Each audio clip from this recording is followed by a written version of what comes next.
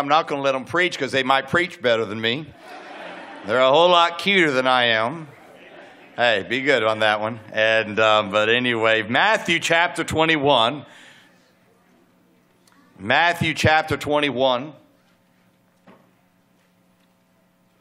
want to start reading in verse 18 this evening, Matthew chapter 21 and verse 18. And once you have found it, let's all stand as we read the Word of God, Matthew chapter 21, verse 18.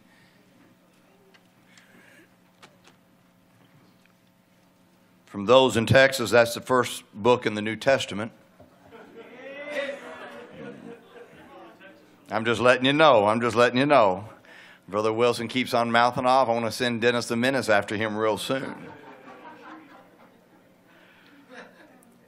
That's that great Bible story you missed in the scriptures. But anyway, Matthew chapter 21, we're going to start reading in verse 18. The scripture says, Now in the morning, as he returned into the city, he hungered. That means he was a Baptist. Just making sure you're awake. When he saw a fig tree in the way, he came to it and found nothing thereon but leaves only, and said unto it, Let no fruit grow on thee henceforward forever. And presently the fig tree withered away. And when the disciples saw it, they marveled, saying, How soon is the fig tree withered away? Jesus answered and said unto them, Verily I say unto you, if ye have what? Faith. And what? Ye shall not only do this which is done to the fig tree, but also if ye shall say unto this mountain, Be thou removed, and be thou cast into the sea, it shall be what? Done. Done. And all things whatsoever ye shall ask in prayer, believing ye shall receive. Tonight I want to talk to our church tonight, and I want to help us tonight. I want to speak to you on the subject cursing fig trees and moving mountains cursing fig trees and moving mountains. Father, I'm asking you to allow me to be a help to your people. I get the privilege to be their pastor. But Lord, I know that in reality you're the you're the one that we follow.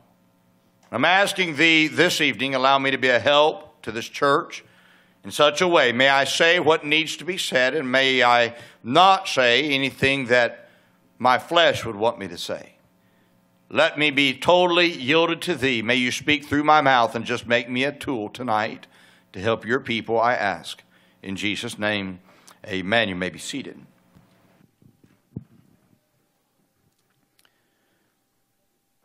The actions of Jesus on earth were no mistake. I often tell people everything that Jesus did and Everything that Jesus had done on earth was said and done on purpose. There is no uh oh with God. Everything that we, we often, sometimes, I'm afraid, we, we read the scriptures with the mentality that, well, it just happened. There is no happenstance with God. Everything was done on purpose. He prescribed it, He did it on purpose. There's a reason why He did it. I'm saying that everything that Jesus did and said were done and said on purpose. I'll even say this his actions and words were said and done to teach those who followed him.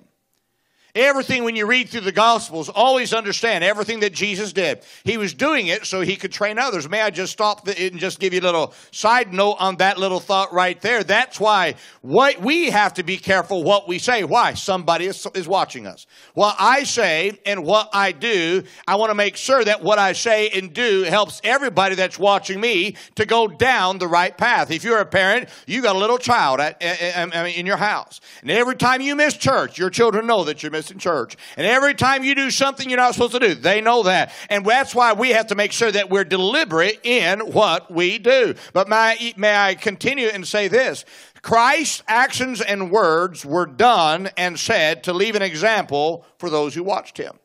Jesus was concerned about his disciples carrying on what he had what he was what he knew he was going to leave. His ministry on earth was going to be short. And so he only had a short time, get this now, to get across to these disciples what they needed to do and apparently he did a great job. Because those 12 disciples, well, one of them, of course, was the devil, and so, so, so he was gone. Judas Iscariot was not saved and ended up in hell, but the other 11 turned the world upside down for Jesus Christ. Jesus did a good job in training the, the disciples. One of those teaching times we read about right here in the scriptures. It says that here in verse 18, it says that, that and when he saw that, that it says in verse 18, in the morning as he returned into the city, he hungered. And when he saw a fig tree in the way, he came to it, it says, and found nothing thereon. It's interesting that he ha- that he's, he's hungry and he goes to this fig tree. Now he knew that the fig tree didn't have figs on it. He knew it was not even the time, get this now, for the, fig, for the fig tree to have figs on it. But he went to the tree, and the scripture says he cursed it. When you read the stories of other gospels, they went throughout their day, get this now, and they ministered, and then they came back, and when they came back, every fig on that, that tree had withered up and died because Jesus had cursed that fig tree. They marveled, the scripture says that the disciples marveled that the tree had withered so quickly. And Jesus then says to them, he says, it was at this moment, he says, now listen to me. He says, if you, if you have faith, he says, he says, what happened to this fig tree is, he says, that's nothing. He says, let me help you out. He says, if you have faith, he says, you can say to this mountain, be thou removed and be thou cast in the sea. And God says, it'll be gone. It'll be, it'll be removed. What was Jesus saying?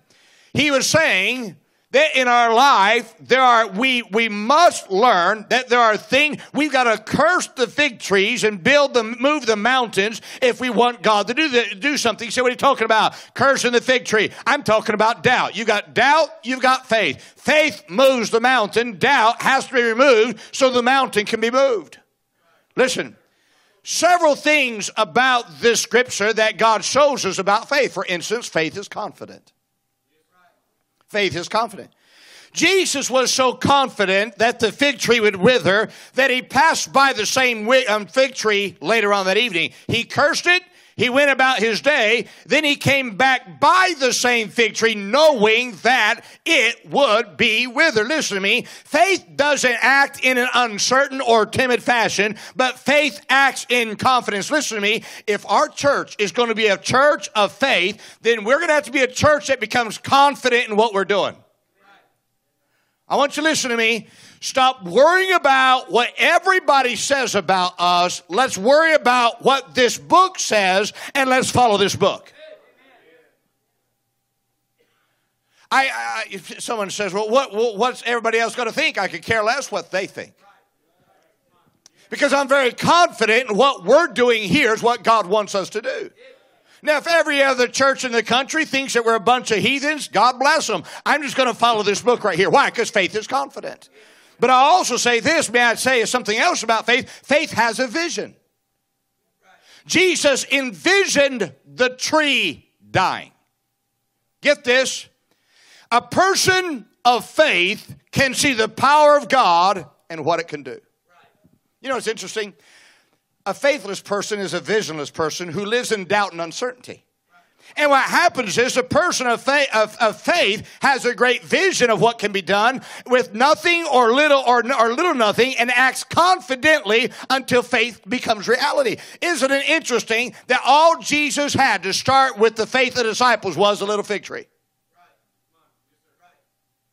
You know, your vision of what God can do is a revelation of your faith.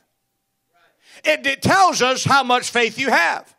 Now, sometimes some of you, you, you, get a little nervous when I start talking about what I believe God can do in this church, and let me let me help you out. You've not even heard half of what I believe God can do here. I believe God can do something great. We've got a great group of people. Listen, we've got more than just a fig tree here. We got some good people, got some great people. Listen to me. Jesus only started with a fig tree. Listen, you said we got old buildings. That doesn't matter to God. Somebody help me out. You say about preacher, you don't understand what we've got right here. You don't understand your God. At some point, listen, I, listen, I know, I know there's, there's churches out there and we are, we're living in an era in our fundamental movement where everybody thinks you have to have Taj Mahal auditoriums to be able to attract people. You know what you need? You need a church that has faith, that has a God and says, let's go reach this area for Jesus Christ and go do something and get a vision of what God can do. Isn't it amazing with our old building that we have what God's done here? people being saved, people being baptized. You say, well, it's not the best of buildings. God never said you had to have the best. In fact, Jesus just met out in the street corner. We're so wrapped up in buildings and, and the facades, we're spending millions of dollars on facades, letting people die and go to hell somewhere. Yes, I think we ought to update what we have and we ought to treat it the best we can. But listen to me, somewhere you just got to get a vision of faith and say, I believe God can do this. Faith is confident, faith has a vision, but faith is also authoritative. Jesus said, Be thou removed. Can I tell you, stop acting in question, act in faith. If you go soul winning with me, you'll, uh, you'll, and those who've been soul winning with me know when I go soul winning, I don't soul win in question, I soul win in faith. I don't go, well, I hope they get saved. I go believing they will get saved. Big difference. Big difference.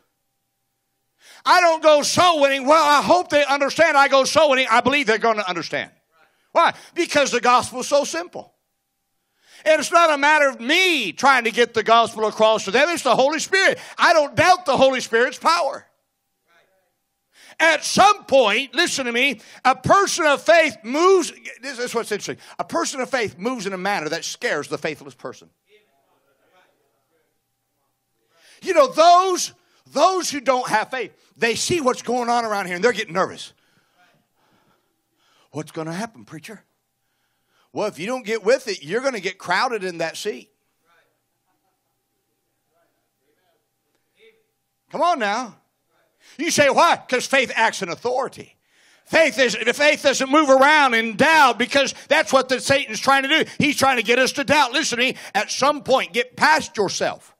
Get past what brother brother did a good job yesterday talking about. You got to be a loser. I never had anybody tell me I have to be a loser, but anyway, he said you got to be a loser. What's he saying? You got to lose yourself. Got to lose yourself. Get over yourself. Stop trying to impress everybody. Just get busy in faith, doing something for God, believing God can do it. I said faith is confident, faith has a vision, faith is authoritative, but faith causes a person to act. Verse 22 shows the key that makes faith happen, and the word is believing.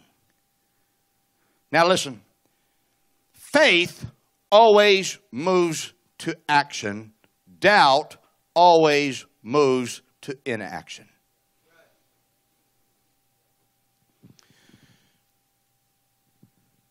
I can always tell who has greater faith in our church. Why? They're in, they're, they're in action. Those who aren't doing anything, they're, they're living in, in doubt. You say, how do you know? Because they're not, because they're not. Faith just moves you. Faith, it, it, it stirs you. There's something about faith that just gets you, it gets you going. Stop being afraid of your shadow and listen to faith and trust your God in heaven that He can do something through you.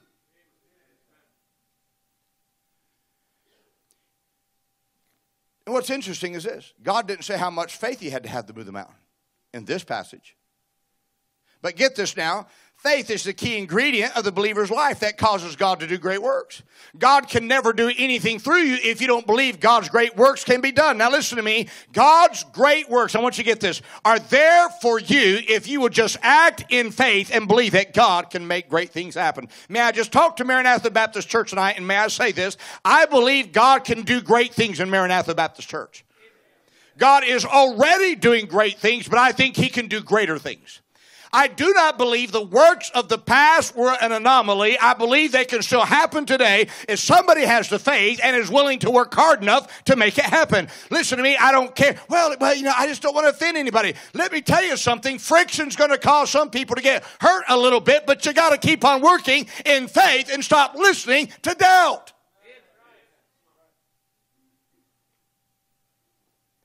When people talk to me about our area, they say, What's your area like? I say, Man, this is the easiest area to go soul winning in the world. Brother Hopkins got here. I said, Man, this is a great soul winning area. I said, I said, Man, it's easy to go soul winning here.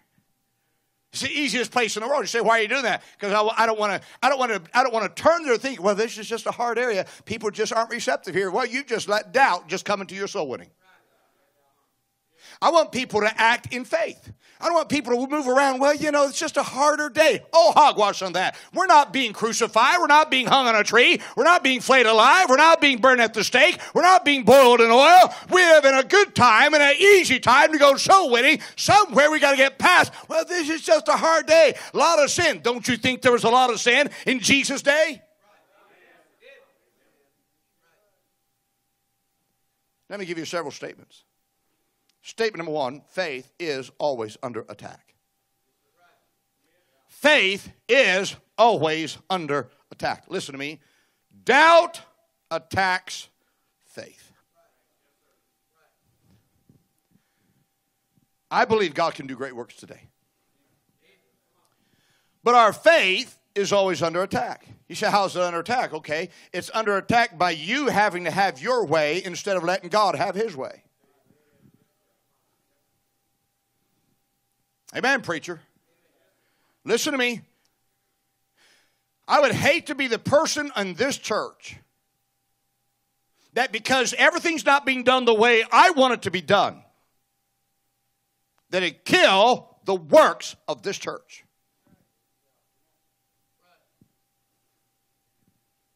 Now, there's some people in the church that need to get right with the Lord about that. And I'm just being straight honest with you as a pastor. If it's not done your way, cross uh, the T's not crossed the way you want it, and the I's not dotted the way you want it, and you're killing the faith of this church. And what it is, it's pride. Amen, preacher. Keep on preaching.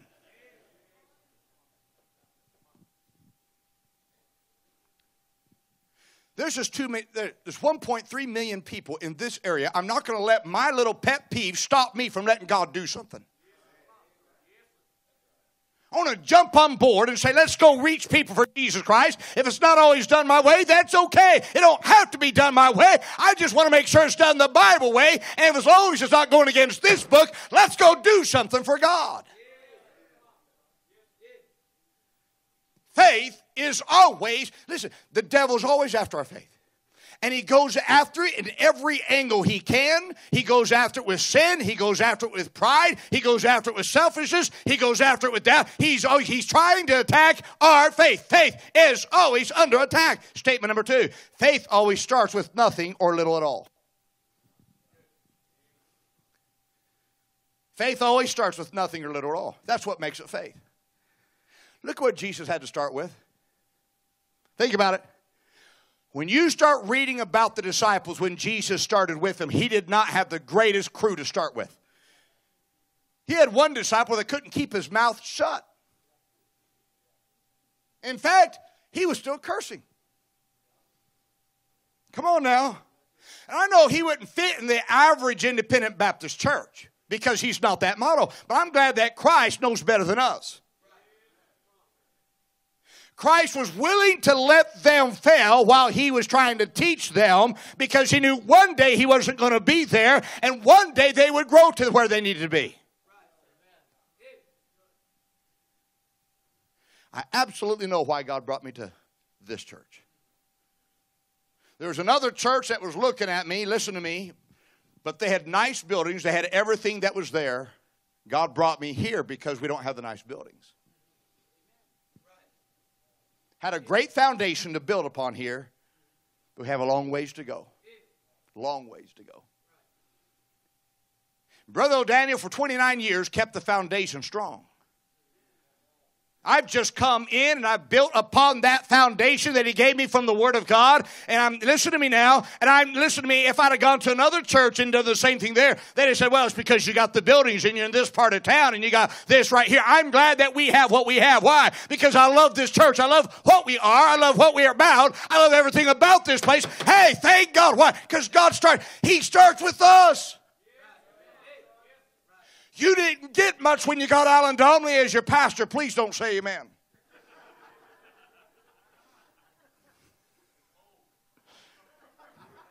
Thank you, Brother Wilson.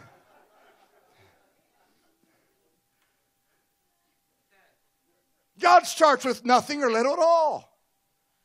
And we grow together. And we, we see God doing miraculous things together. I don't think anybody in this building here thinks that we're, well, look, uh, look how great I am. I don't think anybody believes that. We're all trying to encourage each other. I said faith is always under attack. Faith always starts with nothing or little at all. Number three, faith is provoked by vision. Faith is provoked by vision. Listen, no vision plus no faith equals mediocrity. Great vision plus great faith equals great works.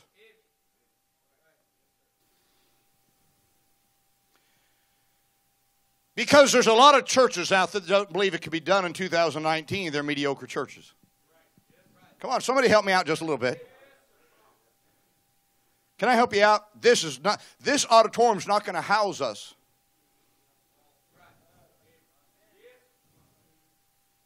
You say, Preacher, you're scaring me. This auditorium is not going to house us. Say, are we going to go somewhere else? No, this is going to become too small. So, how do you know? Faith. I know. I know the doubtless person be critical of that statement. That's okay. See what happens, what happens, preacher? What happens if it doesn't happen? Listen to me. I'm saying faith provokes vision, which leads me to this. Act on the faith you have. Act on the faith you have. Listen to me. I would rather fail at having too big of a vision than succeed at having a vision of mediocrity.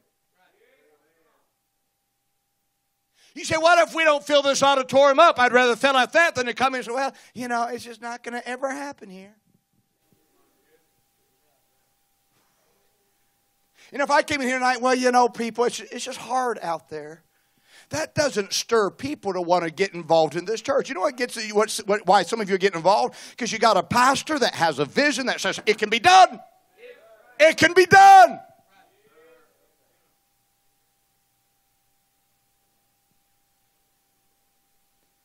I'd rather fail in acting on faith than succeed at sitting and doubting. And by the way, you'll always find this the one who sits and doubts is critical of the one who's acting. It's like watching sports. If you're a sports nut, you know what I'm talking about. Nothing worse than listening to sports commentators. They think they can coach better, think they can play better, and the truth is they're so big, they they may be the basketball. Listen to me. And they think that they can, they, they've, they've never even coached one. They can't even keep their marriage together, and yet they think they can coach an NBA team. Listen to me. It's easy to say it when you're not in the game. You get in the game, and all of a sudden, yes, they're going to start shooting at you. That's okay. Faith gets you to action.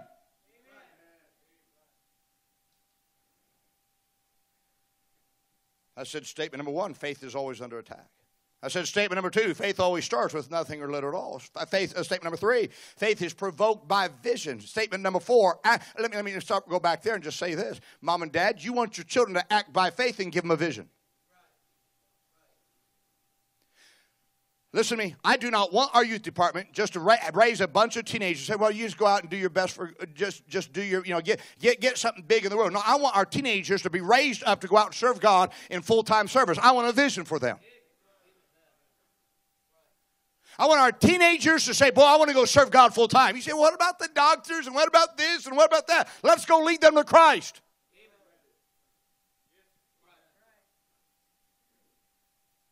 But every teenager ought to have a drive and a vision inside that mom and dad say, hey, God can do something great with you. By the way, mom and dad, that's why you should stop belittling your kids all the time. Well, you're never going to become of anything. Yeah, not, not with that kind of encouragement.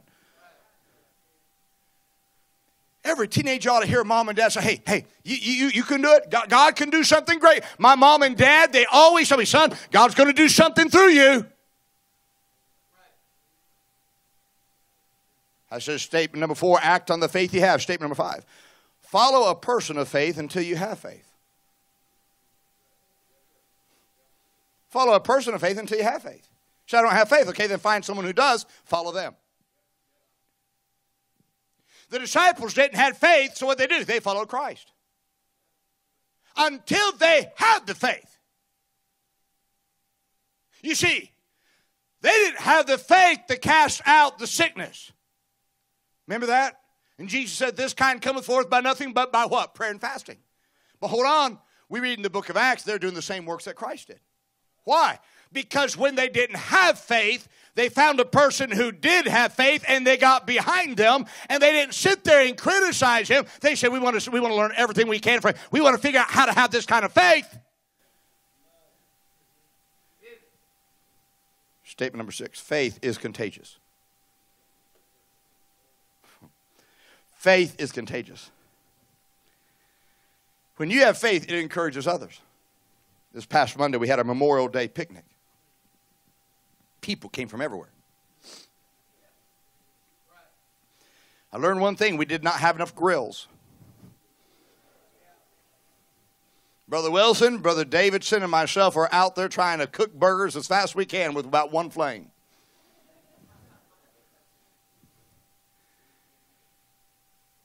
And I said, next year we're going to. I said, I, said, I made the statement. I said, next year we need to have, we need to get six charcoal grills because the charcoal grills just grill faster than the gas grills. And Brother Davidson said it's all his fault. Brother Davidson said, Oh, preacher, that's not going to be enough next year. I said, Why? He said, Do you think we need a few more? He says, Oh, no, no. He says, The crowd will be bigger next year. What happened? Faith is contagious. Is contagious. Somebody else, I don't I can't remember who it was, somebody else said to me, say, You see this crowd preacher? Vacation Bible School's coming up. There's gonna be more than this in vacation Bible school. It's like, please don't do that to me.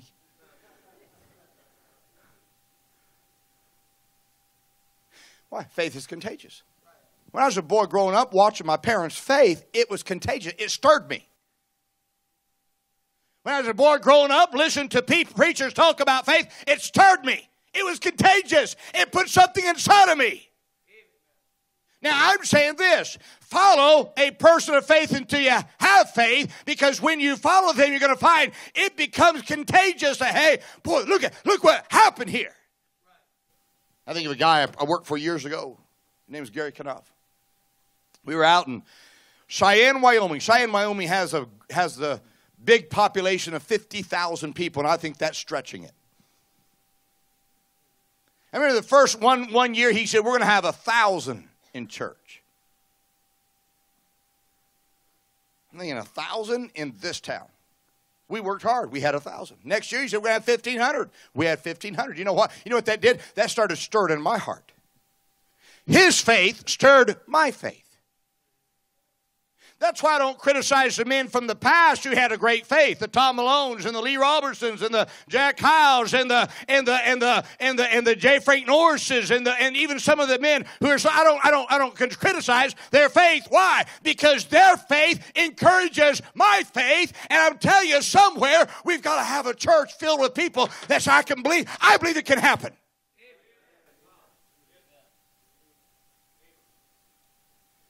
Statement number seven don't let your doubt leak out and destroy the works that faith can do.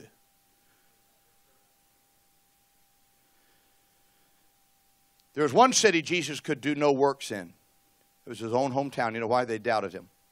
Ah, this is little Jesus boy. Not you, the real Jesus. just saying. Ah, it's just a little Jesus boy, you know. It's cute. It's cute watching him think he can do all of this. Can I just say this? Some of these young generations that, that are stepping up, let's not get so that some of us who are older, not me, you, some of us who are older, let's not get to that point, well, you know, it's cute to watch, you know, it's cute to watch a little Caleb and a little Trimble to get up here and think they can lead singing. Come on now. Book, encourage them. Just go to Brother Trimble. Brother Trimble, you're never going to be as handsome as Brother Dolly, but you're doing good.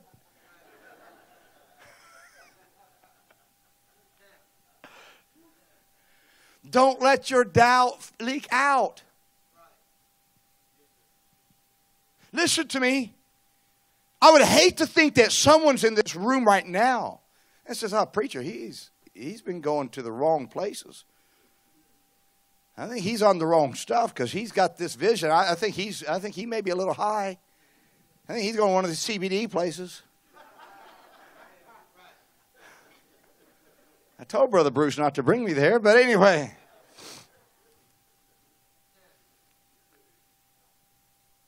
No. All it takes is one person of doubt. Eh, it's not going to happen here, Brother Melvin. that preacher. He don't know this area.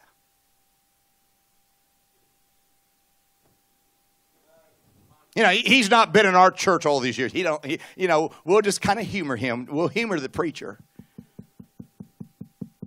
until he finds out it doesn't work here.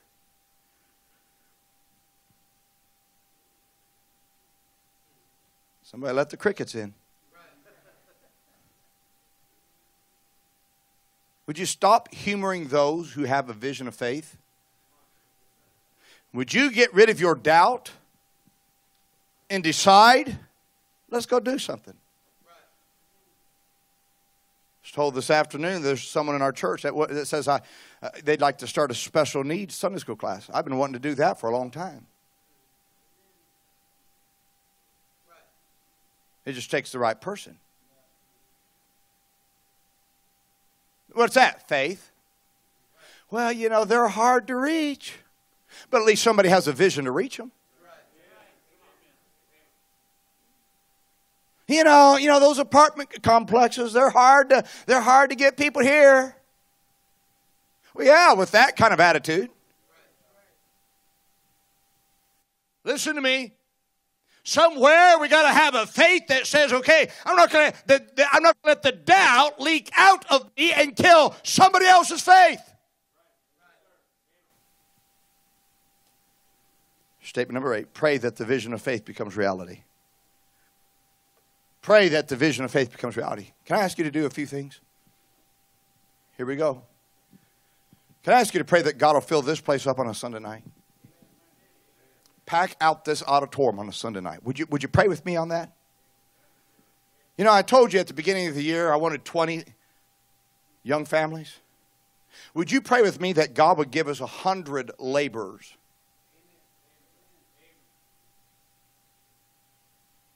Laborers.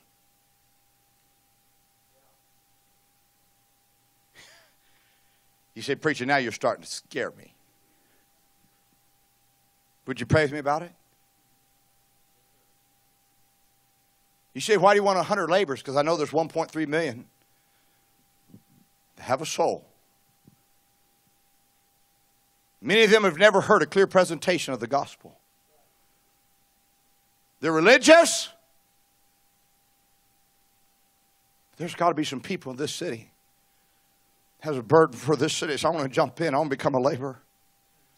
I want to help. I want God to do something with my faith. I want God to see this thing happen. I want to pray that God increases my faith, that God allows me to, and pray for the vision of faith. I would love to one day see 50 buses out here going around and picking up people all over the city.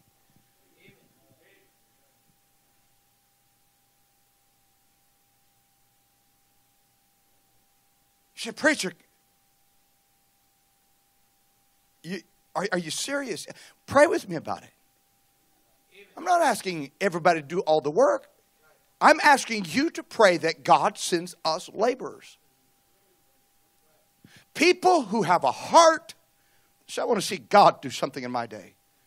I don't want to get old one day and, and, and before I die that my daughter doesn't see some of the great works that have happened in, our, in my lifetime. I want this young generation to get a glimpse of the power of God so that way when I'm gone and I'm, and I'm running down the street of gold in heaven, I want them to be able to say, well, we were in a church of faith that God did something mighty and they try to challenge the next generation to do something mighty. Oh, would to God tonight you'd start praying and say, God, increase my faith. God, help our church.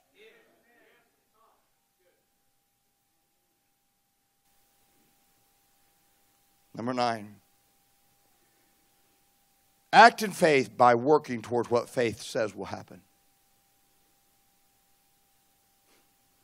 Act in faith by working towards what faith says will happen.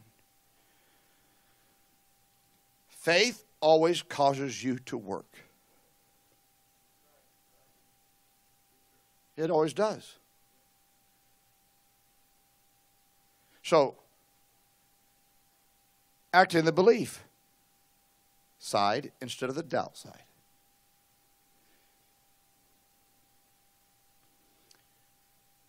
Wherever you are tonight.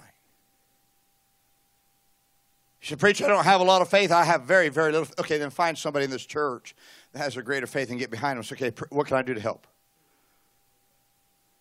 Till my faith grows. Some of you Sunday school teachers, listen to me. Some of you Sunday school teachers, listen. Your faith needs to get bigger. Every family in this church ought to say, I'm going to fill a pew with my converts. If everybody in here tonight says, I want to, I want to grab a pew, I want to fill it. In the next 52 weeks, I want to fill my pew. I want to have my converts that God's used me to lead to Christ. We can make an impact in this area. And we can show all the negative people out there that the old time religion is alive and well. You don't have to have a rock concert. You don't have to let down your standards. You don't have to look like the world just to build a church. You can do it the old fashioned way. Act in faith. Get involved.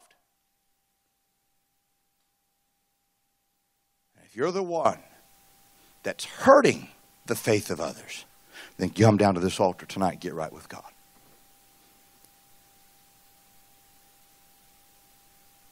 Because I'm telling you this, I'd hate to sit and, I'd, oh, Brother Stafford, I'd hate to stand before God one day.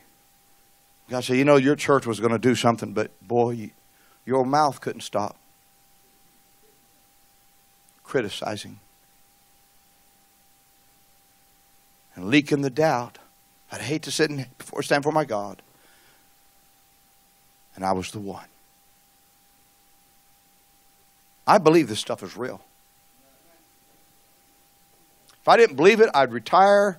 I'd go find a golf course, and Brother Williams, we and I go play golf. We may play 200 golf, but we'd play golf.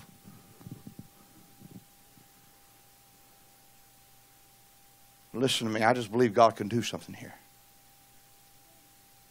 I believe right now I'm looking at the people. There's no mistake you're here tonight. I'm looking at the people that God can use. Father, it's time we curse our fig trees of the doubt. We decide let's go build some mountains. The mountain of a bus route, and the mountain of a pew, and a mountain of a Sunday school class, and a mountain, Lord, just whatever mountain, build this church. I know you build the church, but you use your people to go. I believe it can happen here. Dear God, tonight, please challenge the hearts of your people that we become a people of faith. Heads of